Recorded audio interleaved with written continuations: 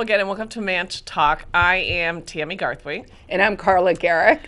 and Carla was in Miami for a few days. I so was. a little bit jealous. I uh, I didn't get much of a tan, but it was warm. Yeah. It was, you know, February and uh, th- it's, like actually kind of cloudy Yeah. and it's their winter It's hit or too, miss. right? right, We've gone to Florida in December, in January, in February.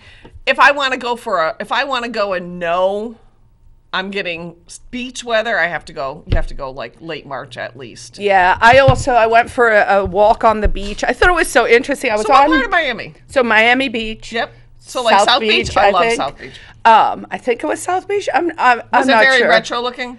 It wasn't the super Art Deco. I think it was farther down. Okay, yep. Um, I'm trying to remember the hotel's Yeah. name, but I don't. I know- Um, I had some really good noshes. You know, like just. Uh, I mean, I cook so much, and I hardly ever eat out, so it's a real treat for me when I'm just like, oh yes, all the shrimp, all the ceviche, all of it.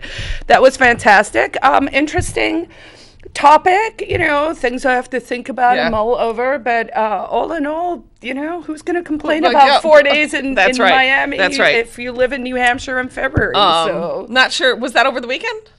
Yeah, left on Thursday, got in Thursday night, came back l- midnight on Sunday. So So um, in and out, as they say. I feel like I want to like try to figure out before I go into any of the other things because this one's like a standout. So I did, um, in case you missed it, um, Sebastian Sharonoff, the Ward Six alderman, had re- uh, had resigned, resigned, right? and there's Yeah. going to be a special election on May 9th, and um, this lovely woman, Crissy Kantor, who owns Chill Okay. Spa, filed for office. Oh, cool. Um, to take Sebastian's spot yesterday, so um, I'm sure we'll have more on that. Maybe we can have her on one day or something. That So, would be kind of cool. she's a Republican, or I kind of presume Because so. it's nonpartisan It's nonpartisan. city, I, I'll, I'm going to presume she's not a Democrat okay.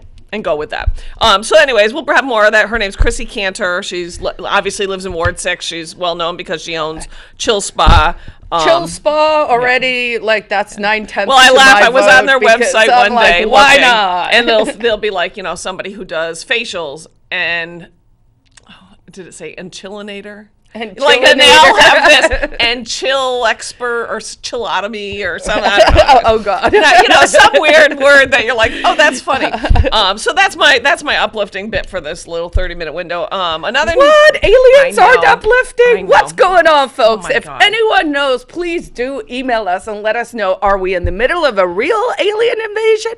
Or are we in the middle of the start of the false flag alien invasion, Well, which I predicted I in 2018? I did so see a meme, we'll see. and I was trying to. Re- I hate when you see a meme and you can't really remember it, and you're trying to tell somebody, and you're like, okay, it was funnier, and when it was a meme. Right. But there was a it, at the top was Joe Biden in like a captain suit, and he's like, we've got the you know the files, um, and then we've got the balloon th- uh, situation, and we've got this, and we've got that. Release the alien story, and there's some. then there's a, a woman in an office. She's like, release the alien story, and it is you. You do have to really.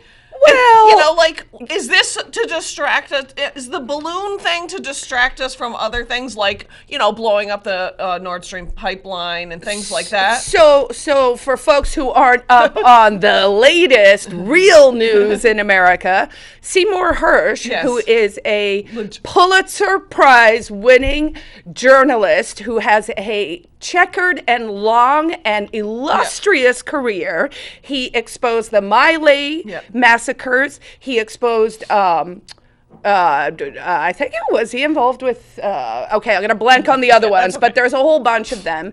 And he basically wrote a Substack last Yep. week that came out right around the time the Balloons start aliens, showing up. Um, taking the position that based on his sources and frankly based on what the government themselves said joe biden said we will not let Lord, Yeah, uh, Nord Stream. nordstrom 2 go live uh, Nuland, who works for the Department of uh, Some- uh, Ho- Homeland Security, I think, or something. But anyway, her last name is Nuland. She was like, "Oh, Nord Stream's not going to happen." Truss from England sent a text to Blinken in the US right after Nord Stream blew, up. up, saying it's done. Seymour Hersh, on top of that, has other sources. So basically, it looks like the U.S. government colluding with other Western countries, possibly Germany right. and Blew um, Norway, the gas blew up the gas pipeline. And then Um, tried to say it was Putin, of course, because it's that's the thing. You just say it's Putin. Well, but right. would Pu- why So- would so- Putin want to cut off the gas to his own country? But we'll cut. We'll not only cut off gas, but ga- cut off gas revenues, right? So, so part of this energy crisis we're seeing in Europe is because the Yes. second pipeline got taken down. So heating is very, very hot. Yep. So this is going on. So you know, partly it's like, mm, what can we distract the masses with? And then let's talk about Ohio Oh, for a hot I- second. You know, so we were talking about Ohio before. We were listening to some stuff last night too, and um, And by the way, if America blew up that pipeline, that is categorically under international law sabotage Yeah. and an act of war. This is not something like we should be glossing No. over or say this is funny Well, or this is whatever. Ohio- it is dangerous. If we are starting to go down a path towards World War III, um, I don't think we should buy into it because I think that energy is really negative. Hmm. You see people over Twitter, people who are younger and kind of going, "Oh my God, are we going to be Yeah, in World War yep. III? Is nuclear war coming?" And I'm of the mindset at this this. stage where I'm like, "No, actually, if I've learned one thing, they're constantly just trying to scare us, right?" In Ohio, there was a train derailment of a of a ver- of a hazardous, hazardous toxic um, polychlorine vinyl, vinyl. Yeah, which is what is used to make PVC. That's the letters PV, polychlorine vinyl, and um. It's very toxic, and so this train derailed. And I mean, if you see the pictures, there's like 20 cars on, it. and the, the, the from the stories, and who knows, right? The, there was gas leaking, so, there so, was so already going to be something. transported in a liquefied state. Yes. So it has to be very cool in order for it not to be very Vol- dangerous. So then the trains came somehow derailed, Yep. um, and then. Because they were concerned that they couldn't keep it cold, I think was the story. Well, there was They and there was gas. Yeah, well, there was set it on fire. Well, there was. Uh, this is where Dan and I were talking, and I'm like, I don't know. Like, I don't know how to what to do in that situation. Like, I'm not a- an expert in these types of gases, so I'm torn. Half of me is like, well, that's freaking scary and weird. But then on the flip side, we don't know if not doing that was even equally scary. So, You know so what I mean? this Like- happened in East Palestine. Is that t- the town's name? It is. It's Something Palestine Yeah. in Ohio, close to the border with with Pennsylvania. Very odd things are going on, quite frankly, because first of all, they actually filmed a disaster movie two towns Yes, over from where this happened. So there are literally on the interwebs, there are people who acted as extras in the disaster movie that had a plot line of trains Yeah. derailing and then this huge So- environmental spill So I, happens. it is people there are concerned because they don't know. I mean, and it's a legitimate concern. Nobody really seems to be able to tell anybody what Well, the question is it's gonna- where where's the mainstream media and why aren't it's- our it's rarely- government control freaks who That is- like get billions of dollars That- to take care of this crap telling us what's That is the on? one thing that we were watching. It was on T- Tucker did talk about it last night, so that was like the first time I've heard it. Um, but I don't like. I, I honestly don't claim to know whether leaving it would have been better or blowing it up was better because you know it is a volatile substance. But it just seems odd that there's So, so the problem is actually the chlorine um, combines when you when you set it on fire. It, it combines with water droplets. So basically, what they've done by immediately burning it, as opposed to maybe I don't know, taking five minutes or ten minutes with some experts and being like, "What can we do?" Maybe there Well, I were think other that's what options. Um, they've basically combined, they've created acid rain. Hmm. And this is not an insignificant issue. And the reason that there is something that ties all of this together. If you're watching government news, which is propaganda at this stage, Hmm. so people in countries like Russia or Cuba or Venezuela or anywhere where there's authoritarians, the people know they shouldn't believe anything they read in Pravda or, you know, right. They just go. They just so, ignore so it. people understand hey our government lies to us Yep. the truth lies somewhere else americans are still apparently figuring this part out but um but we know they like to report a lot on environmental stuff. The real tell on both these stories, Nord Stream being blown up, the largest methane gas leak in the history of the world, strangely not uh. reported on Yeah, I know. at all. Yep. So that is a tell that someone is lying to you and that Yeah. Seymour Hersh's reporting is Is probably, probably- accurate. The same thing in Ohio. Yep. This massive, massive thing that happened that you are not seeing on the mainstream news. So then I heard there were four other train derailments Oh, there are tons. yesterday. So here's the So thing.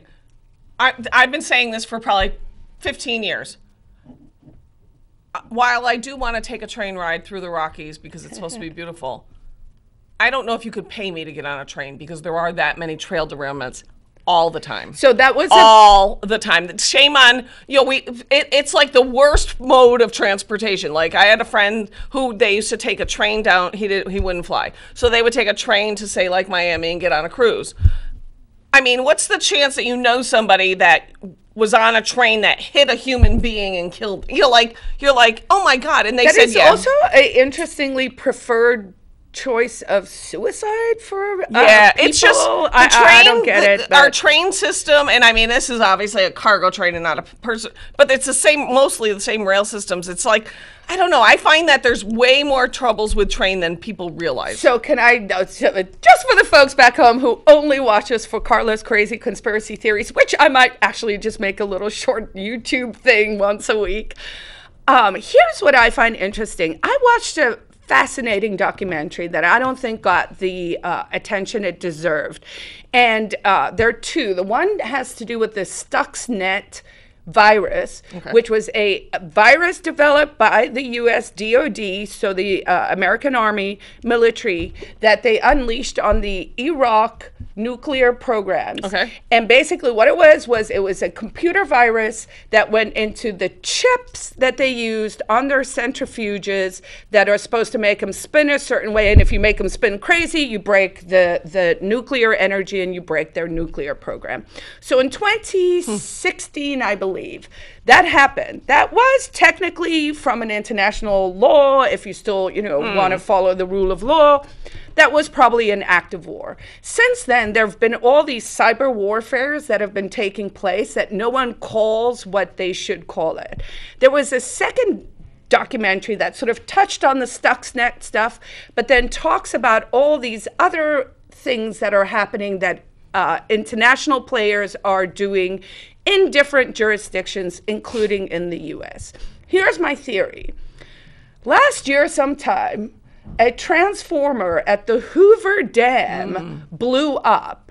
It was in the news for less than a day. So part of my the way I analyze news is I'm like when they make a big deal out of something you can't it's the only thing you can hear COVID COVID COVID COVID Yep. COVID that's sus, right? When weird stuff happens and you never hear about it again, that's sus too. So those transformer and and it the, literally the news just said, oh, there was a transformer that blew up, and I was like, hmm. There was a transformer that blew up at the Hoover Dam. I wonder what would happen if a hundred transformers, or how many transformers there possibly are, in the Hoover Dam all blew up at the mm. same time. Question: Would that blow out a the, the entire dam wall, thereby flooding everything downstream from the Hoover Dam? That would probably be very, very damaging mm. and dangerous, be. right? So I'm wondering between these weird balloons that are flying everywhere that no one can really tell us what they're doing, right? Right. So some people are saying they're Chinese balloons and they're just um, weather balloons. I read a really interesting thing this morning that said, I haven't verified this beyond, you know, wh- Yeah. whatever it was, but it, it, it, it was people who are in the military or uh, retired military, and they said the, the, the, the surveillance was to catch things that move fast and uh, so things like missiles, uh, incoming planes, MiGs, that kind of stuff. For some reason, and I, I, this was not in it, I'm just speculating, after 9-11 would be my guess they they moved from watching fast and slow things to only watching fast things someone probably forgot because that's how the government is and they kind of never based on this guy's substack he was like they kind of never switched on the find the slow stuff Right. so his position was sort of like oh suddenly we're finding all this slow, Slow stuff. stuff. it's been there for Right, a right. while but um, now we're just noticing it again because they're actually tracking for that that's possible Yep. could be. But I'm wondering if these surveillance things and um, some kind of cyber warfare that has to do with transformers, um, uh, chips, basically, Hmm. right? So part of the, the narrative we're hearing a lot of is America needs to bring its chip manufacturing Yes, home. definitely. Um, you know, and, and we should be manufacturing more things it would here. seem I like we could be would- able to do that. Um, it's like prescription drugs. I'm like, yeah, I don't really know. Do we manufacture prescription drugs here? Because if not, why? It's just a machine. Well, I mean, part of it is, you know, if we look economically, is because as the regulatory bodies in America became too large, Mm. Yep. it became too expensive to manufacture things here if you're looking globally Yeah, at a I know. competitive market, right? So, um, you know, if you're going to make it here and it costs a dollar and you can make it in China for three Yeah, cents know, and it costs you 40 cents to ship it here, none of that's good for the environment, by the way, or for people or for workers or any of that, right? Yep. But that was the reasoning. So I think maybe we're resetting the world a little, and maybe that's not, not resetting in the WEF No. version, but you know, rebalancing.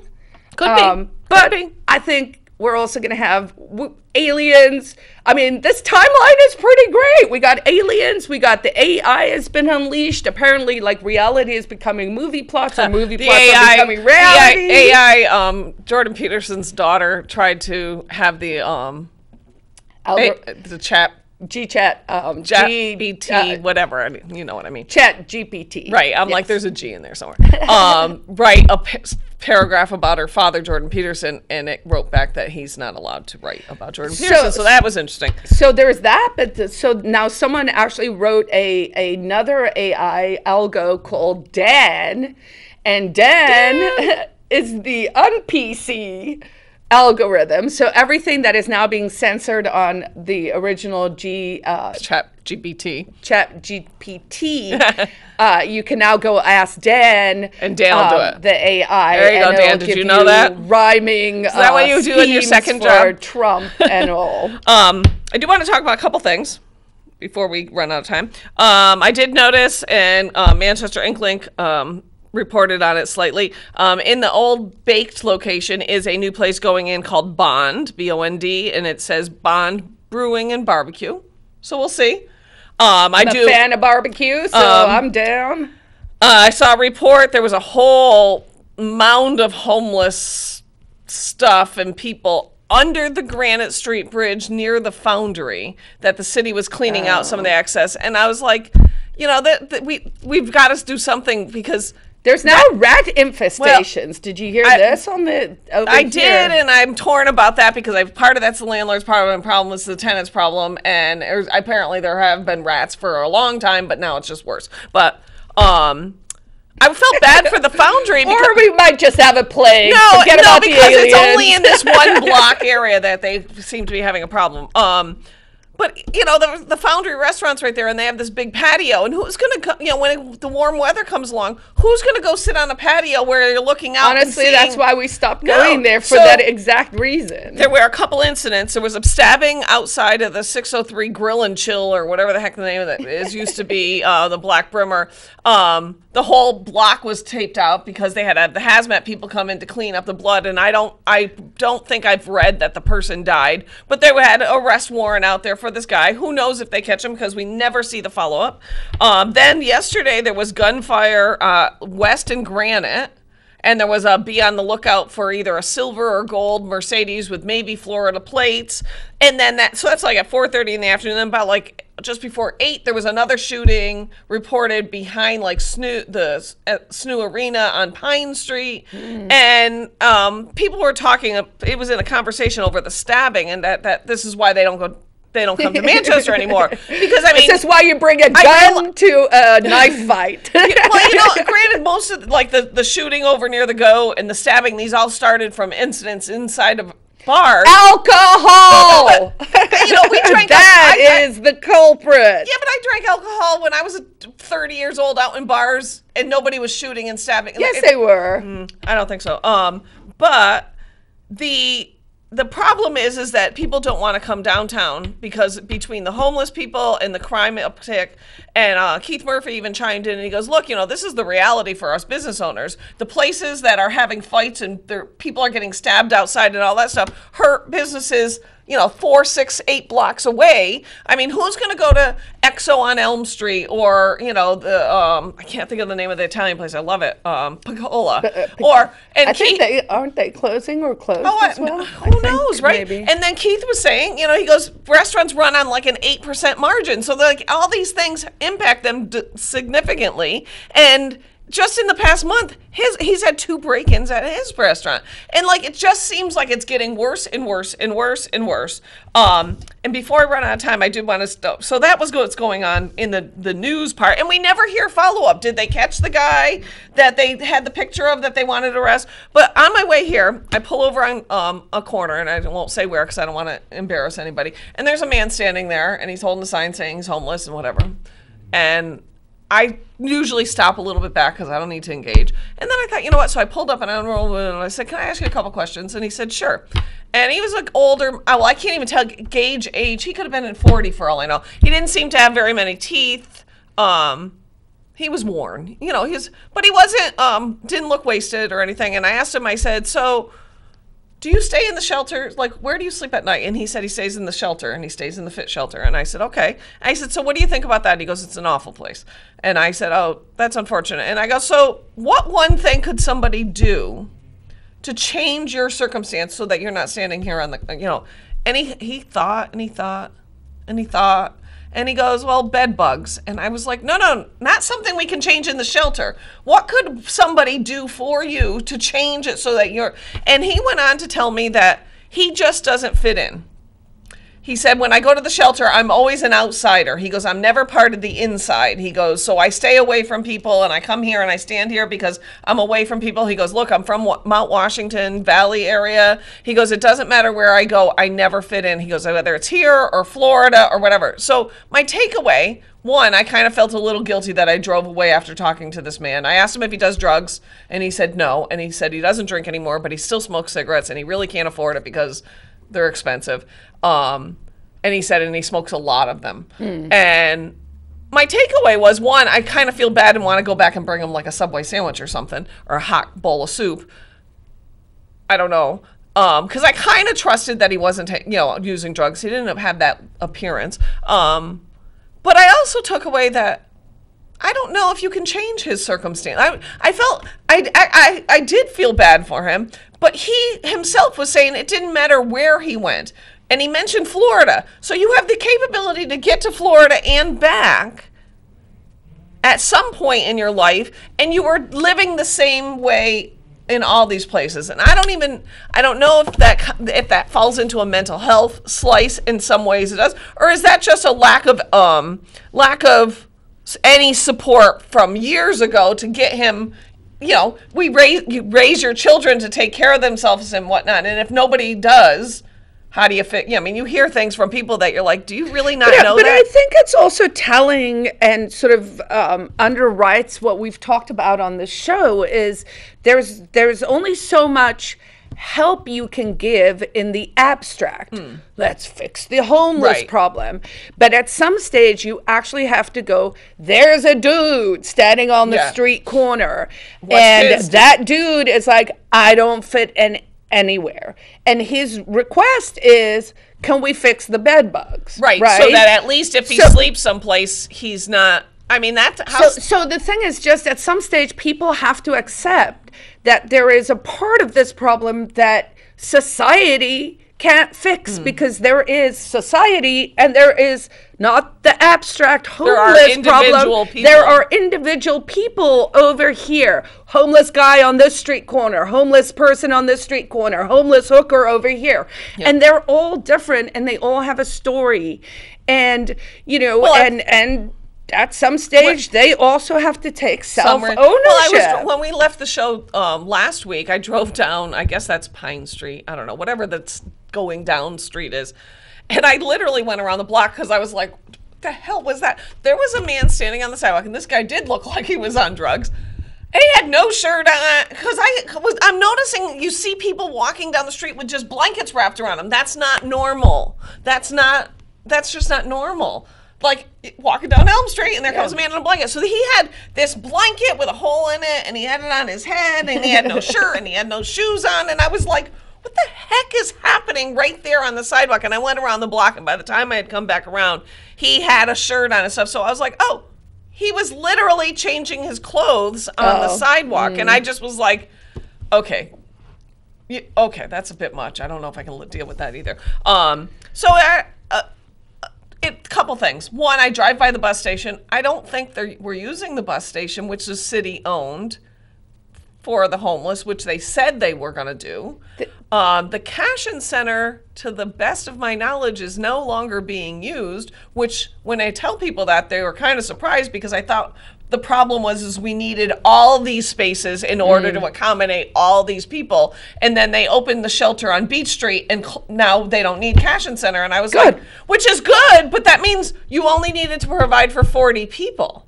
Then stop. Well, but so but, uh, uh, so some of this urgency actually does create data that are then interesting points that we can look at, right? So so through this Arctic blast crisis, we've ascertained oh, we're being told there are 130 that are unbedded, Right. but it seems based on opening up the Shelters, shelters, it's that more it's like more 40, like 50, 40. right.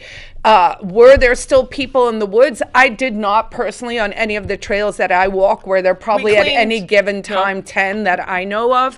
Yep. Uh, everyone seems gone. Yeah, there are a lot of abandoned and gross we did, camps um, around. bittersweet gapping in uh, Piscataquog River Park on Saturday morning, and we didn't see any homeless. Yeah. Um, or- there, there are a few uh, um, actual camps still Yeah. Hmm. out there, so maybe we can coordinate with the, the city or something. I know that the MPD just got a lot of Zushi nice ATVs, and I'm like, why can't they roll out there and do some of that pickup uh, while they're out monitoring the it's just- trails for us? I, I go. I always go back to the same thing. As you know, when I went to an event that Victoria had, where she had a bunch of people come in and talk about homeless situation and what to do, and you know who can help and what's working and what's not working. And um, my uh, my big thing is, as a taxpayer, I would like to know exactly what we're spending the money on. We talk about this a lot of times because a lot of money gets spent, and a lot of it gets spent in these urgent emergency situations that aren't actual emergencies. They're things that we didn't we kicked the can down the road and ignored. And the reality is, I mean, besides we're focusing on this aspect of the homeless and the crime. Meanwhile, nobody seems to know how to drive anymore because every day there's like some major accident on some random street in Manchester where somebody's flipped their car over. I think that And those could be strokes and heart attacks. it could be. It's just like where so, it, it really it, like you get in your car and you're like somebody could just come flying into me. Life is dangerous, folks. Way more dangerous than it Uh, but be. it's also very, very, very awesome, and uh, it can be fantastic. and it's gonna be warm. and- And um, this afternoon, going up to Pat's Peak with Dan, and I am not Oh, skiing. fun. I will have lunch and a cocktail, and he can ski till he's Oh, tired. fun. And um, yeah, so they must have snow up there then. they make snow. okay. So, anyways, Well, enjoy your skiing, and everyone back home, enjoy your week. Um, and we'll Don't be- let it be bleak. there you go. And we'll be back next week, and we're creeping into March. So you know, bye bye February soon. Okay, Bye, guys. bye.